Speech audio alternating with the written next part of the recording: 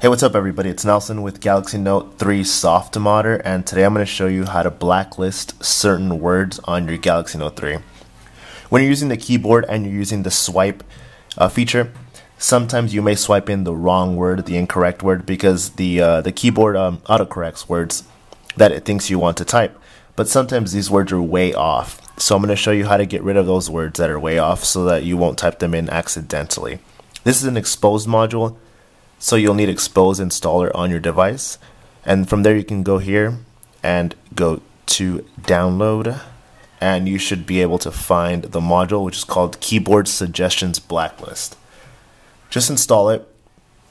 Uh, uh, there's a note that this only works for the Google keyboard. So for the Note 3, usually the, the Samsung keyboard is used. So you'll have to switch over to the Google keyboard because it only works for the Google keyboard keyboard. All right, so just exit out. Um, once it's uh, well, actually you have to go to um, modules. Here it is. Uh, just reboot your device, and from there you'll see an application called Dictionary Words List. From here, you can add the words you want to block just by going to add and then entering the word you want to block. Or the easier way is by just doing it directly from the keyboard. So the word that uh, I type in sometimes that may not be a word I want to use is anal.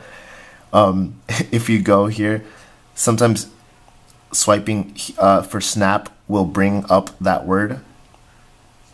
So uh, I'll want to block it. So what you can do is just try to swipe it in. And there's the word.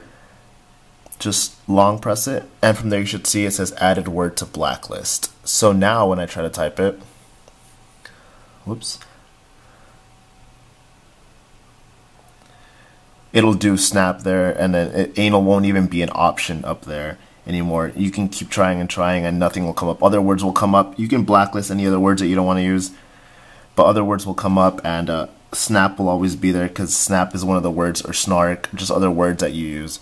But as long as that one isn't a word, an option, uh, or unless you use the word a lot, but make sure you only do this for words that are um, just get in the way and that you'll never use. If you do, um, if you do need the word, you can go to direct uh, dictionary word list uh, and do it directly from here and just delete it and delete all the words. Here's some of the other words I have blocked. And that's it. Alright, thanks guys. Don't forget to like, comment, subscribe, and check out the full tutorial over at Galaxy Note 3 softModder. Alright, thanks.